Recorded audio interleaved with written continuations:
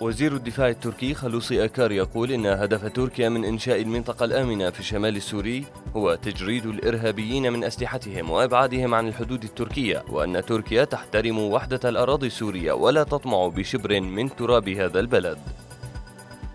قصف مدفعي من قوات النظام يستهدف قرية المستريحة في جبل شحشبو بريف حماة الشمالي مقتل عدة عناصر من قوات سوريا الديمقراطية في ريف دير الزور جراء إطلاق رصاص على دوريتهم من قبل أهل شاب معتقل لديهم وحملة دهم وتفتيش شنتها قسد في قريتي الشحيل وأبو حردوب. قوات النظام تستهدف بأكثر من 30 قذيفة صاروخية مدينة جرجناز بريف إدلب الجنوبي. المبعوث الأمريكي إلى سوريا جيمس جيفري يقول إن الولايات المتحدة تعمل مع تركيا حول إنشاء منطقة آمنة خالية من قوات وحدات حماية الشعب الكردية في سوريا.